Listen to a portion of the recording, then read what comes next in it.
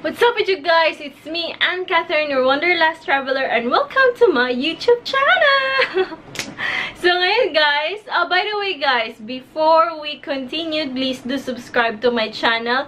And if you haven't watched my um, previous videos, go ahead and watch now. It's gonna, it's so amazing and it's lit. So by the way guys, ngayong video na to, gusto ko i-share sa inyo ang aking travel camera or camera gear or camera bag 2019 so I am so happy to share with you guys or I'm so excited to share with you guys kung ano talaga ang meron sa aking camera bag. So, as all of you know, if you have been in my channel, and or if you haven't know yet, yung main channel, yung channel ko talaga is all about travel. But sometimes, um, nag-upload din ako ng mga pagkain, lifestyle, beauty, and etc. etc. But most of my videos, majority of my videos are all about travel. That's why I'm so excited to share with you kung ano talaga ang laman nitong camera bag ko. Ayan o. Oh. Uh, uh, uh. So, ayan guys. So, let's get started!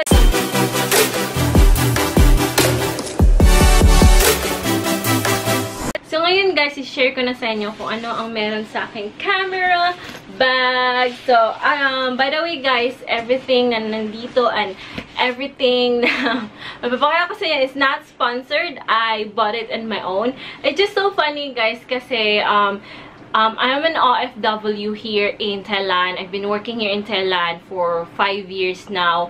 So, kasi nga, yung nakaka, yung naano ko lang is, um, may mga ibang OFW na trabaho sila ng trabaho, nag-iipon sila para ma-provide yung family nila and my God, I am so um, uh, proud of them. May iba naman um, nag-iipon para makabili ng bahay at lupa or anything investment in the Philippines for long-term na yon. Pero ako guys, hindi ko alam kung bakit iba ang ini-invest ko.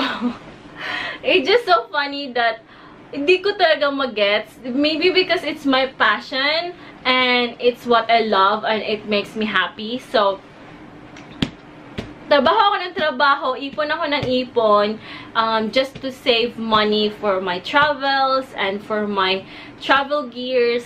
I know, excuse me, I know na hindi siya, um, parang hindi siya practical to save some material things that alam mong magbababa lang ang value niya in a long term or in a long run. Kasi sinabi niya ng kapatid ko, kung bili, kung bili ka ng bili ng gadgets, hindi mo naman kasi yan na mabibenta in a higher price in the future.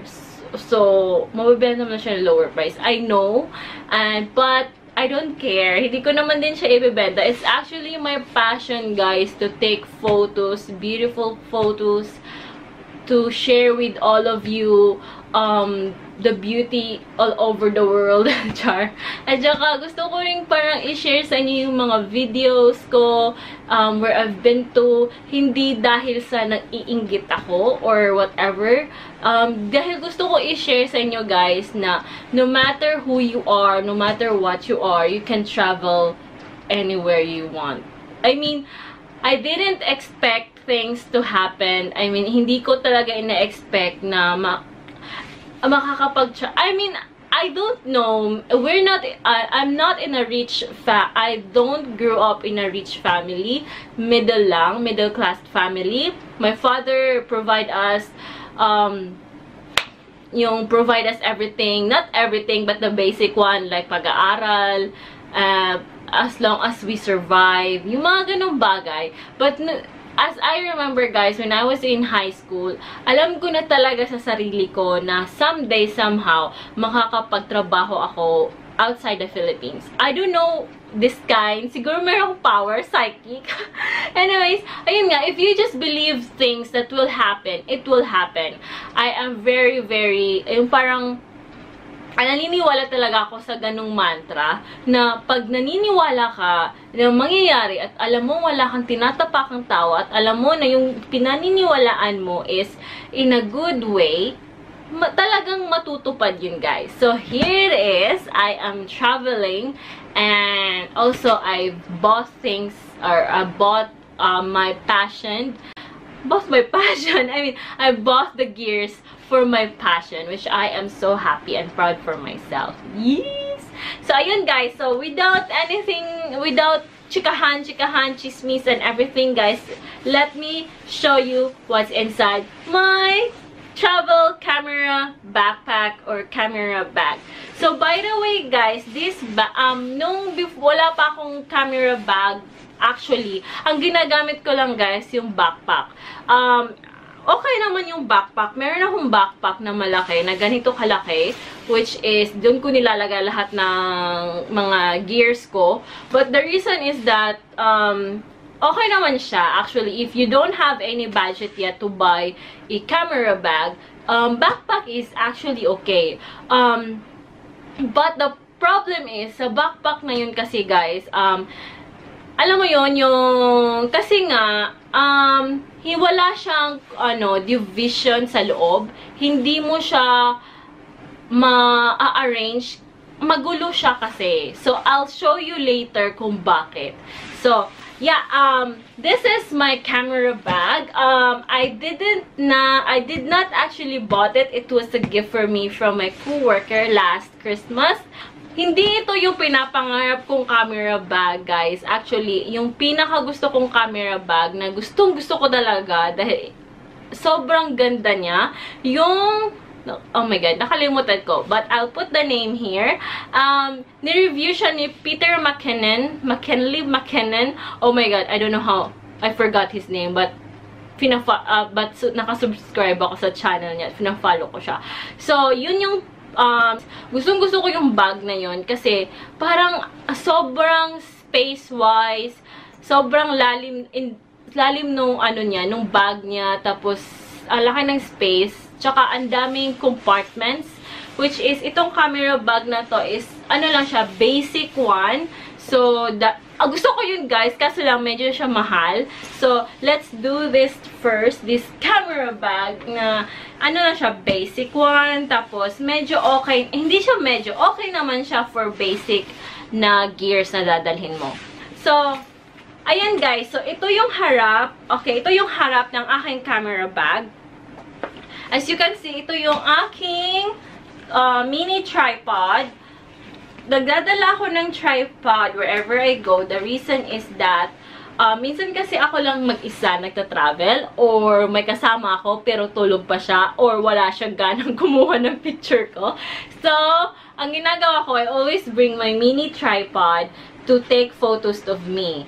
So, ayun nga guys, um, if you, it doesn't mean that you always need um, a photographer boyfriend or um, a photographer following you around. You can actually take photos by yourself if you have if you are just patient enough and ma uh, mag-effort ka. So, this one is my tripod. Ayan. It's na, hindi siya mahaba, guys. It's, un, uh, hindi ko, basta ano lang siya, parang hanggang, hanggang bewang ko lang yung taas niya. The reason I did not bought a very tall na kasing height ko na tripod is that masyado na siyang um, hassle dalhin. It's better to bring like ano lang, yung carry lang na tripod. This tripod took my photos um, 99% took my photos and it doesn't fail me. So, ayan. So, this is my tripod. So, next is, let's open, ano, I have this, um, if you can see, meron ditong parang compartment din. So, in this compartment, I actually, um, wala ko masyad, marami siyang, ano, packets, guys, which is, parang hindi naman kasi needed. I don't know. Yung mga packets siya sobrang liliit. So, parang wala namang malalagyan dito. Siguro mga barya-barya. Ayun. But, at yung nakalagay talaga dito, guys, is yung aking pouch na merong mga um, SD card, um, extra battery, and USB. Ayan. Nandito rin ang aking headset. Your earphone. So, ayan. Just put it here. Okay. And then, dito naman guys, meron actually tong hidden na compartment. Which is, hindi ko alam kung ano bang pwedeng lagyan nito or ano ba talaga para saan to. Hindi ko mag-guess. Ayan guys, meron siyang parang pocket-pocket. Ayan, na nakatago dito. Siguro for like safety money in case na manakawan ka or mas-snatch ka, meron ka pang nakatagong pera sa bag mo. Ayan, and then meron siyang handle sa bag if in case na bibit-bitin mo siya, 'di ba? Sobrang ano niya. And then meron din siyang pocket dito to put some maybe your water bottle or anything na gusto mong kunin agad-agad like that. So, let's go ahead and open this bag. Sa likod mo siya, i-open. This is yung likod niya, which is I love also kasi meron siyang mga ganito which makes my back so comfortable. Ayan. And then, it's so safe, guys. Kasi kung backpack, sa harap mo siya i-open, there's a tendency na mananakawan ka. But kung sa likod ang opening ng zipper, well, ang hirap naman siguro magnakaw ng isang gamit sa loob ng bag tapos yung zipper nasa likod. ba? Diba? Pero napaka-professional naman kung may magnanakaw na ganun. So, let's open the bag! So, ayan! So, this is what I love about the camera bag, guys, than the, the ordinary backpack is that meron siyang compartment. As you can see, meron siyang compartment. Ayan. So, iisa-isahin natin yung mga compartments, guys, at saka yung mga gears ko sa loob. So, first things is this. Ah, nahihirapan ako. This one here. So, meron siyang pocket. And then, nandito rin yung aking copy ng aking drone na certificate ng isang government dito sa Thailand. Kasi sa Thailand, pag may drone ka, tapos magpapalipad ka, you need to have like a certificate that you are safe to fly at wala kang intensyon ng masama sa pagpapalipad ng drone sa Thailand. So, ayun. Lagi itong nandito sa camera bag ko, guys. And then, aside from my certificate that I am um, flying in a good way, na wala akong balak, meron din akong parang raincoat ng bag. Hindi ko alam ang tawag dito. By the way, guys, my bag is, the brand is Flyleaf. Ayan, Flyleaf. Meron siyang, um, ang tawag dito, raincoat ng bag. um, para siyang, in case na umulan, pwede mong, yan, isa-try natin. In case na umulan, pwede mo siyang Oh, ayan, di ba? Safe na safe yung gamit sa loob. Ah, teka lang. Ayan. Oh, ayan, safe na safe yung gamit mo sa loob. If in case na umulan or may may tubig or pupunta kayo sa isang adventure na may mga tubig, o, oh, di ba safe? So, ayan. So, nakalagay lang yan sa loob. So, let's start sa loob talaga ng aking bag. So, ipapakita ko muna sa inyo yung mga gears ko, guys, bago ko ipakita sa inyo yung ano sinasabi ko, yung parang division ng bag that is so easier than in an ordinary backpack. So, ito guys, meron tayong pouch. And nandito sa pouch na to ay everything charger. So, meron akong charger ng camera ng aking um, Canon EOS 1100D. Ito. Okay, dyan kayo. And then, meron din akong charger ng Canon G7X Mark II, which is ginagamit ko ngayon. Okay. And then, of course, charger ng aking DJI Drone Spark. Ayan. Mm-hmm. So, um, lahat ng charger ay nakalagay sa pouch na to. Lagay natin dyan. And then, next is my propellers sa drone ko. Propellers. And then, yung drone, yung DJI Spark na drone, So, ito yung aking DJI Spark. Ayan. And nandito rin yung aking extra battery and extra propellers. Okay. And next is um, my remote sa aking DJI, of course. Ah, nakakatawa guys. If you're asking ano tong mga puti-puti na to, ayan, nilagyan ko siya ng ano, ng mga stickers. Kasi nalilito talaga ako guys sa left and right, up and down when I am flying the drone. Nagpapanik kasi ako. Saan ba yung up? Saan ba yung down? Yung ganun. So, for me to get easier, I already like label everything. to make life easier. Ano ba naman yan? And then next is my GoPro. Ayan, this is my GoPro Hero 6. I know, meron na yung Hero 7 na sobrang legit at saka sobrang cool. But, um, this GoPro Hero 6 is not that bad. Gumagana pa siya and then it gives what I want and it provides what I want. So, I'll stick to this. Okay? And then, meron din akong um, tripod or monopod ng GoPro Hero 6. Actually, it has screws. Um, ayan. Pwede mo siya i-connect-connect. Meron din siyang parang um, mini stand here to make it like a tripod. Ayan. Ayan. So, di ba? Ay, mali. So, ayan. This is very cool, guys. Kasi, Pwede siya maging monopod at the same time pwede din siya maging tripod. Which is cool. And then next is my another pouch. So kung sabihin niyo sa, or tatanong niyo sa akin, ano bang meron dyan? Magugulat kayo guys, ano meron. Ayan! Ay! Nahulog. So, uh, yung screw ata ng GoPro. Ayan guys, nandito yung mga wires ko and charger din ng GoPro charger ng, oh my god.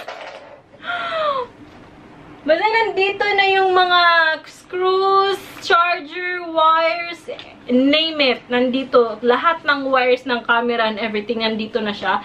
Inisa ko na kasi sobrang gulo niya, guys. Ayan. And then, the next one is my lens. This is my, um, This is my 52 to 250 millimeter um, lens um, from Canon. Siyempre, I love Canon. So, Canon, hope you sponsor me. Ayan, ito yung aking lens. And then, tabi muna natin. And then, my another camera, which is that one that uh, mostly of my photos in my blog dito ko kinukuha. This is my Canon EOS 1100D. With, bibili ko lang ng lens na to, guys. It's a macro um, 16mm, ano, it's a macro 24mm lens, which sobrang gusto ko siya. The problem is wala pala siyang zoom, di ba? so, kailangan ako yung maging zoom. Ayan. So, this, oh, by the way, guys, if in my drone remote, meron akong mga labels. Meron din akong labels sa camera. Ayan, guys. Kasi nga, I'm, I love gadget. I adore gadget. But the problem is, minsan nakakalimutan ko yung mga basic one. Like aperture, ISO, shutter speed. So, I need to remember, remind myself what is shutter speed. I know what is shutter speed. Aperture, I know what. But, um, ano ba yung range ng brighter sa darker? Yung mga ganun. Kasi nga, nagkakabaliktad-baliktad sila. Naguguluhan ako minsan. So, ayan. Itong aking bagong bili na GoPro Dome. Nabili ko siya sa Lazada. But the problem is, hindi ko na siya ma... ma pasok sa camera gear ko. And I think it's also not like basic one or necessary to bring all the time of my travels. Kasi minsan, di ba, nag, kung magta-travel siguro ako ng beach, I will bring it. Or any kind of ocean, like tropical, like everything na paradise. But if I'll just go to a city or like a mountains, parang napaka-useless naman kung magdadala ka ng dome. Saan mo Saan mo gagamitin yung dome? Eh, parang wala namang dagat or tubig. Hindi ka naman magsiswimming. So, I bought it from Lazada. which is, I actually like it though. Mura lang siya. Ayan, yung dome. So, ito yung mga gamit niya. I-ano ko siya i-set up. So, yan. I haven't tried it yet. Um, I will try it in my upcoming travel next month, which is, I am so excited. Hindi natin sa uli. Dahil ang hirap yung isa uli. oh, ayan. So, I'm gonna show you guys nung sinasabi kong division ng bag na to, which I really, really love. Um, compared to a ordinary backpack that I used to use before to put all these things. Diba? So, ito na yun, guys. Ito yung aking division. Actually, marami pa akong ganitong extra. Um, I put it somewhere there, but um, hindi ko na siya magagamit. Kasi nga, this is my, like, customized division. Pwede mo, natatanggal to siya, guys. Um, natatanggal mo siya, naiiba mo siya, ayun. So, this is my customized division. So, ayun. Natatanggal mo siya, eh, pwede mo siya iba-ibahin, tapos meron pa siyang extra na ganito na pwede mong idadagdag kung maglalagay ka pa dito. But, this is my setup. What I love about this bag, guys, even though it doesn't give me that perfect na, it, it is not my perfect camera bag yet, is that yung lalim, kung titingnan mo guys, ganun siya kalalim. Yung mm, malapit, um, parang ano na siya sa kamay ko. Ayan o. Oh. Diba? Sobrang lalim niya. Hindi na siya sobrang lalim, but it gives you the and the depth of the bag. So, ayun guys. So, that's it. My camera bag or my travel bag. So, I hope you like this video. And if you would like to see other sit-down videos regarding about traveling, like how to get a cheap flights, comment down below or how to travel in a very budgeted way na sobrang posible guys. Let me know in the comment section below. So yeah, subscribe to my channel and please give it a thumbs up and see you in my next travel video. Bye!